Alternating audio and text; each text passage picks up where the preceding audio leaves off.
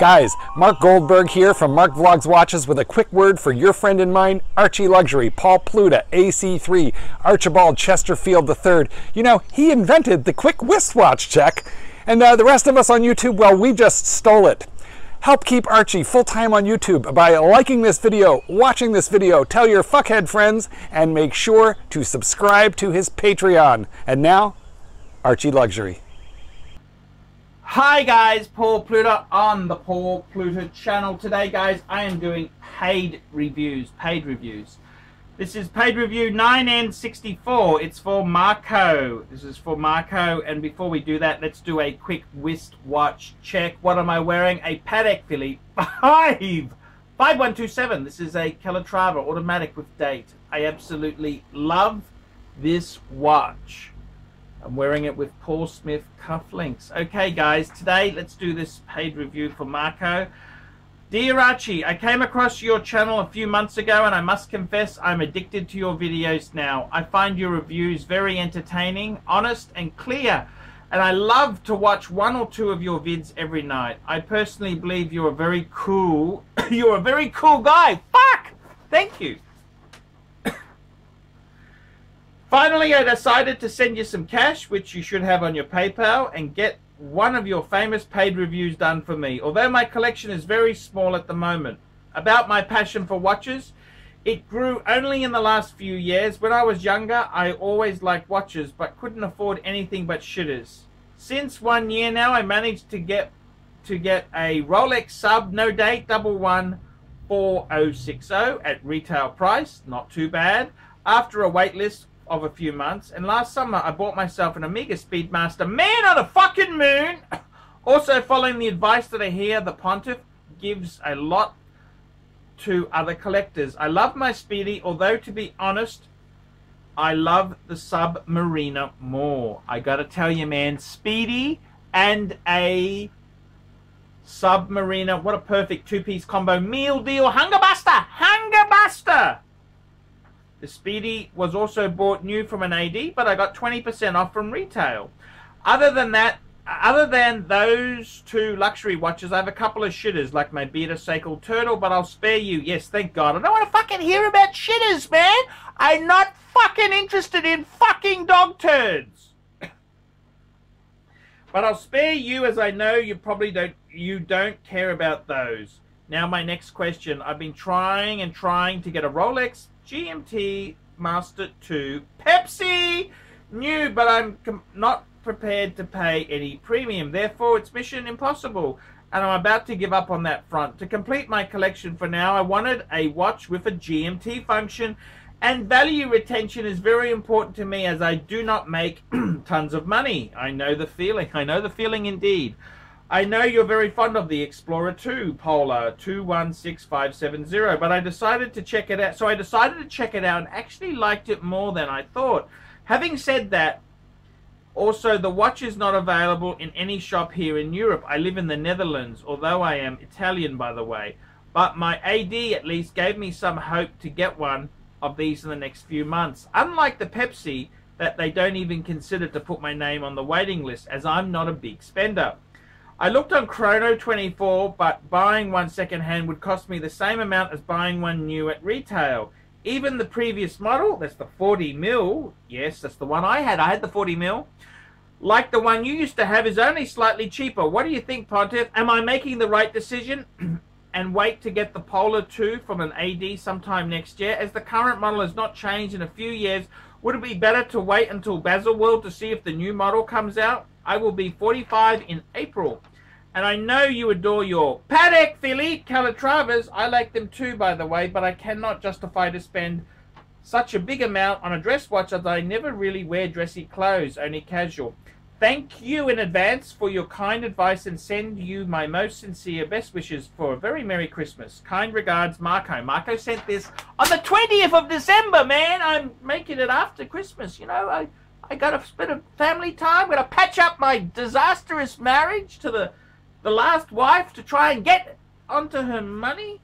P.S. I send you a separate email with photos of my sub, my Speedy, and also a wrist shot of me trying the Explorer 2 one day at the AD, although the watch was reserved for another customer, unfortunately. Okay, what do I think? What do I think the answer is?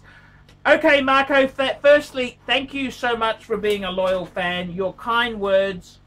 I tell you what, you wonder why the Italians get heaps of bitches to fuck? Because they charm the shit out of you.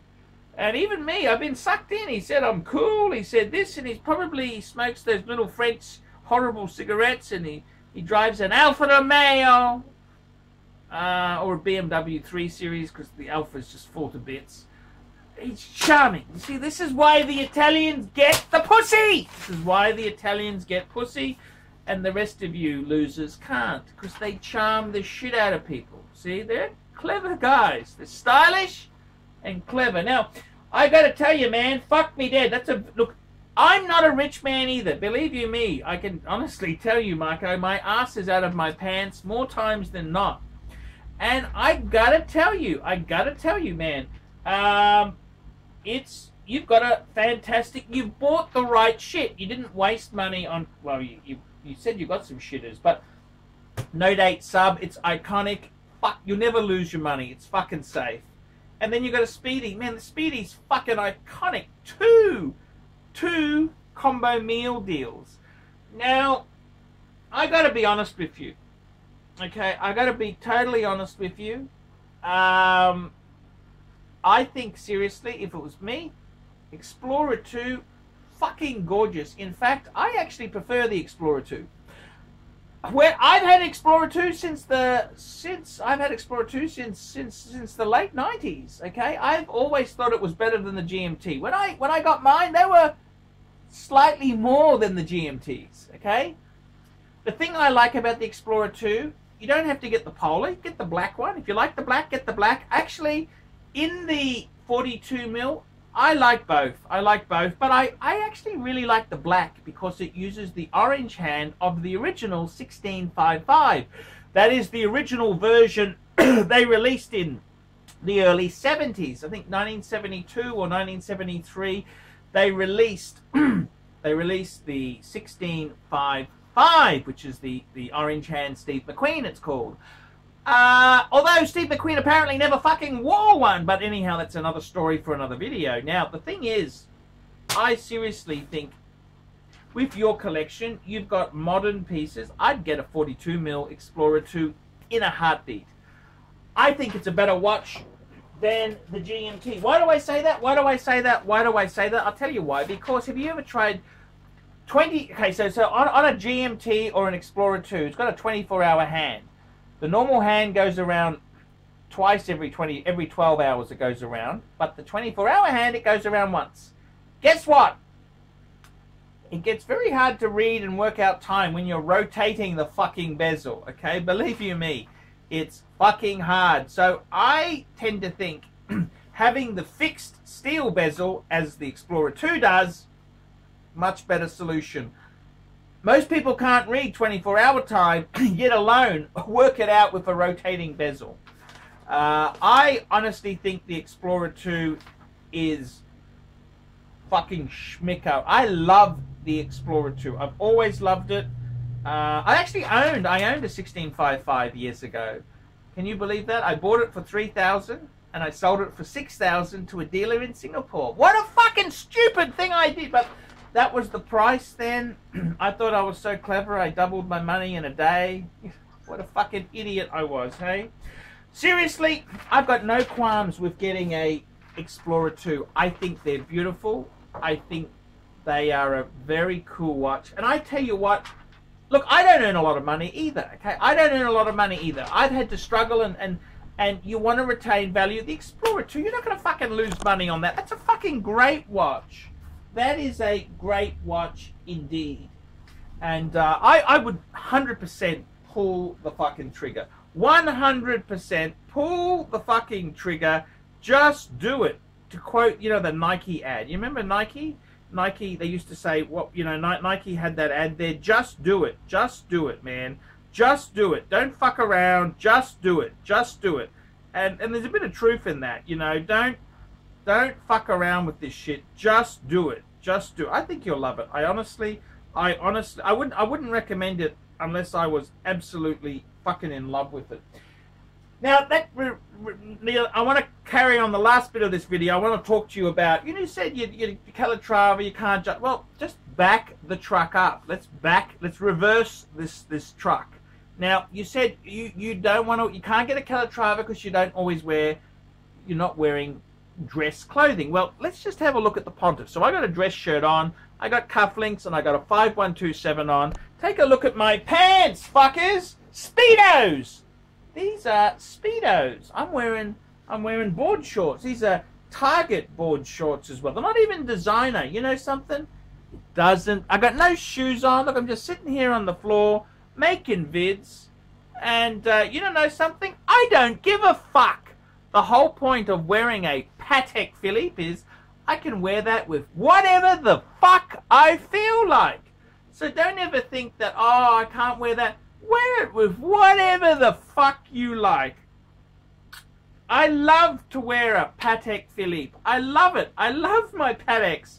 But you know what? I'm about to go for a I'm about to go for a walk. I was going to say jog, but I, I, I don't actually I don't actually I don't actually um, like to do that sort of stuff. But I got to tell you, man, seriously, man, seriously, seriously, seriously, you can wear dress watches with whatever the fuck you like. Okay, whatever. If you want to wear a dress watch in casual attire, go for it. Because I got to tell you, all these watches now, they are dress watches. They are dress watches. Why do I say that? Why do I say that? Because the honest truth is, man, it's my timer there. Look at that. I'm about to go for a walk. This counts my steps. They are dress watches. I put my, my Casio on the other wrist. They are dress watches, and that's because that is because um, Rolex is so expensive, man. You're not going to take a, a Rolex and do scoop, you know, not going to do fucking welding and shit like that. That that stuff, you, you're going to, you know, it's a fucking expensive watch. So all these watches, they're really dress watches, okay? Any analog watch, meaning non-quartz, they're dress watches, okay? So don't be afraid. Patek is beautiful. Let me tell you this, Marco. Don't don't tell anyone else this, but also when you wear Patek, pussy comes to you. The pussies they come to you. The pussies come to you, okay? They just come, okay? I, I, I can't explain it because the bitches don't understand Patek or Vacheron. They don't understand it. But when you wear Patek Philippe, it's the endorphins, the, the pussies just come to you and you can eat as many pussies as you like. Let me tell you that. So they don't tell you that at Rolex boot camp, do they? No, no, no, no, no. Get a Patek, you can eat as many pussies as you like. Guys, that's the paid review for Marco. That's today. Tell me what you think. Like, subscribe. Tell your fuckhead friends. Put some nasty comments down below. And remember, guys, if you haven't done a paid review, I depend on paid reviews to survive on the tubes. I need the money, guys. Please, please, please do a paid review. Keep me full time on YouTube because Google Ads, I can't survive on Google Ads. I need I need assistance. So until next time, ciao fuckers, it's 50 US dollars. Descriptions down below. PayPal at archieluxury72 at gmail.com. 50 US dollars. I'll do a review. I'll tell you what I think. I'll tell you what stinks. I'll tell you what shit you shouldn't have bought. I'll fucking tell you the truth. I'm Paul Pluta. Tell me what you fuckers think of that. You see those big yellow plants, but in there there's all these azaleas. Those yellow ones have grown up, but they'll, they'll die later. And then the azalea, it's protecting the azaleas. Merry Christmas! Happy New Year! No, Oh, that corner. yeah, no, the whole side, there's about 20 azaleas there. Oh, okay. But you can't see them because those plants have taken over. Yeah. You know? And that's all right, because those plants will die and the azalea, but it's protecting them from the sun. Yeah.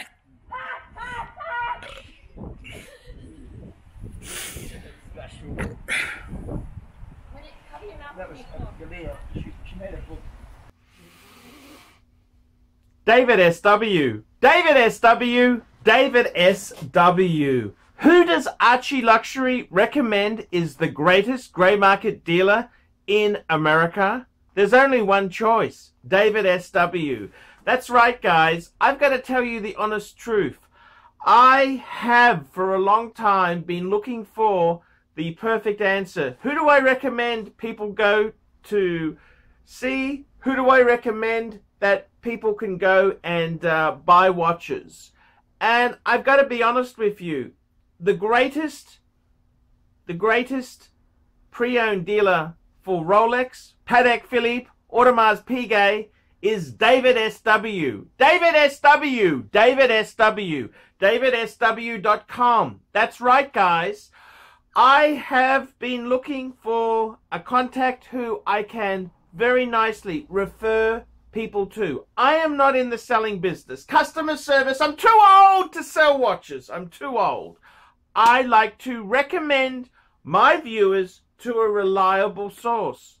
In Australia, I've got some great sources. There's uh, Sydney Watch Exchange with Cove, Ronnie at Vintage Watch Co, Shani, Shani at European Watch Gallery. And in America, who is the best source for pre-owned Rolex? For all the hot models? There's only one person I would recommend, David S.W. David S.W. David S.W.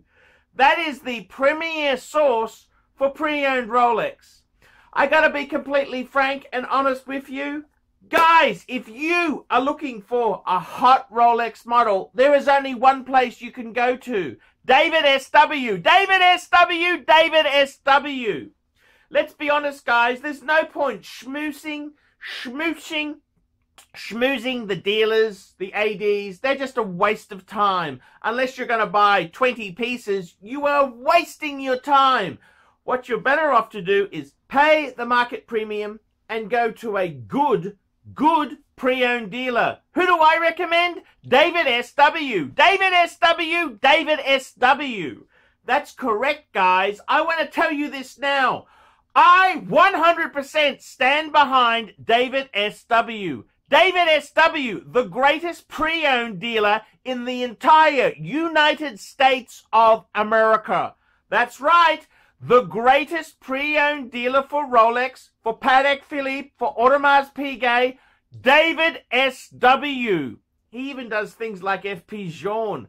David S.W. David S.W. David S.W. That's right. If you want to buy a pre-owned Rolex, a Patek Philippe, Audemars Piguet, there's only one good source I would recommend. David S.W. David S.W. David S.W.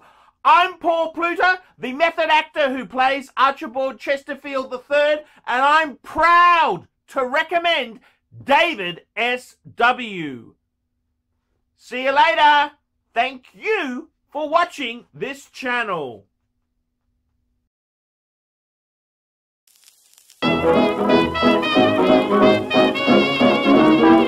Oh.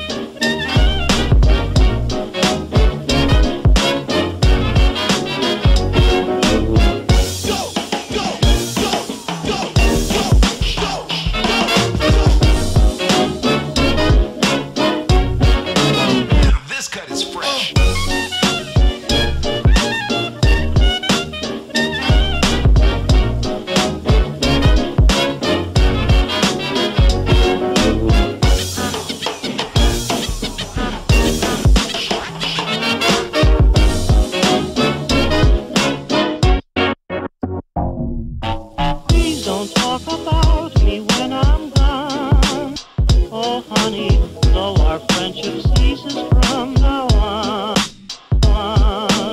If you can't say anything real nice, it's better not to talk at all is my advice.